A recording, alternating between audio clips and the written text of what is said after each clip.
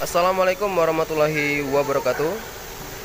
Halo teman-teman, berjumpa lagi dengan saya Padlan Nikromi di channel Auto 354 Oke teman-teman, di video kali ini kita akan belajar atau kita akan melihat Mengetahui fungsi kerja dari extra fan Berapa derajat uh, motor extra fan akan bekerja secara otomatis. Nah teman-teman uh, pada umumnya untuk kendaraan tahun tinggi biasanya di tahun 2000 ke atas atau khususnya untuk uh, kendaraan Daihatsu sendiri ini eh, rata-rata uh, sudah menggunakan uh, motor extra fan otomatis. Nah, pada kendaraan Daihatsu uh, Xenia ini uh, sebelumnya uh, melakukan perbaikan top OH atau keluhan pertamanya itu adalah engine overhead dan ini sudah dilakukan perbaikan.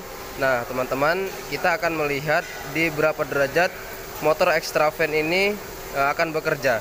Untuk secara visual sendiri, uh, kita tidak akan mengetahui kapan uh, motor extra fan ini akan menyala, akan berfungsi atau bekerja.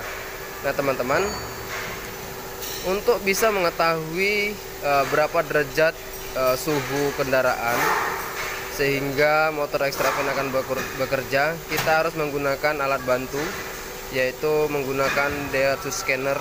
Nah ini teman-teman kita menggunakan Daihatsu scanner. Nah ini kita menggunakan Daihatsu scanner kita lihat teman-teman ya. Sekarang ini kondisi extra nya belum bekerja belum berfungsi. Nah ini uh, pada saat ini berarti uh, kondisi mesin atau kondisi termostat itu belum terbuka masih menutup nah teman-teman kita akan lihat di sini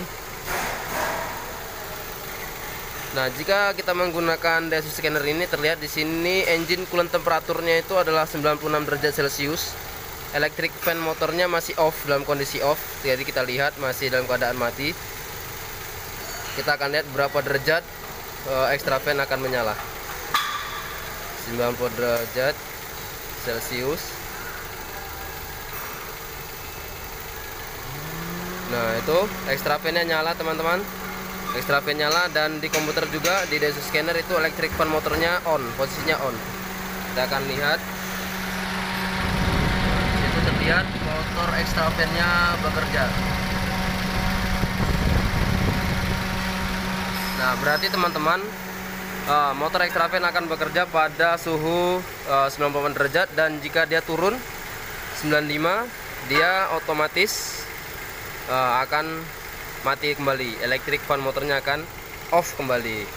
Nah begitu uh, seterusnya. Makanya untuk uh, bagi kita semua terutama untuk anak-anak jika pada saat menghidupkan mesin atau manasi mobil uh, untuk tidak mendekati motor extra fan karena motor extra fan akan uh, menyala akan hidup uh, bekerja uh, secara otomatis sesuai dengan temperatur kerja mesin yaitu tadi kita lihat 98 derajat celcius. Nah, teman-teman, sekarang kita sudah mengetahui berapa derajat Celcius uh, motor extra fan akan bekerja dengan menggunakan alat bantu yaitu Desus scanner. Dan di sini kita lihat engine coolant temperaturnya turun menjadi 90 derajat Celcius electric fan motornya off dalam kondisi off